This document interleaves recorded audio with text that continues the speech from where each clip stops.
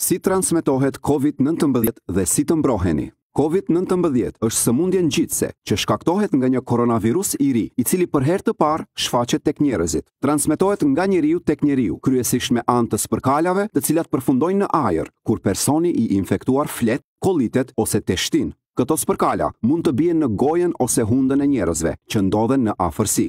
Spërkalat janë të rënda dhe nuk mund të kalojnë një distancë të madhe në ajër, por afërsisht rreth një metër dhe për një kohë të shkurtër bien në cilëndo sipërfaqe. Pikërisht për këtë shkak, transmetimi tek njerëzit më shpesh ndodh gjatë kontakteve të ngushta. Ende nuk dihet se sa kohë mund të mbijetojë virusi në ato sipërfaqe. Prandaj, është e nevojshme që rregullisht të pastrohen sipërfaqet, sidomos ato në afërsi të personave të cilët janë tashmë të infektuar me Covid nëntëmbëdhjetë. me duar preken shumë sipërfaqe, të cilat mbase janë të kontaminuara me virusin.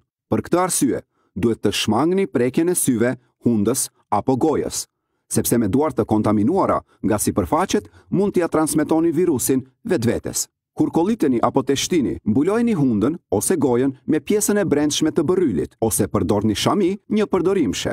Pas përdorimit, shaminë hudheni menjëherë në kosh të mbyllur të mbeturinave. Mënyra më efektive për parandalimin e përhapjes së virusit të ri është pastrimi i duarve me dezinfektues në bazë alkooli ose larja e duarve me sapun dhe ujë. Me këtë procedurë, do ta largoni virusin nëse ndodhet në duart tuaja. Kujdesuni për shëndetin tuaj dhe parandaloni përhapjen e Covid nëntëmbëdhjetë.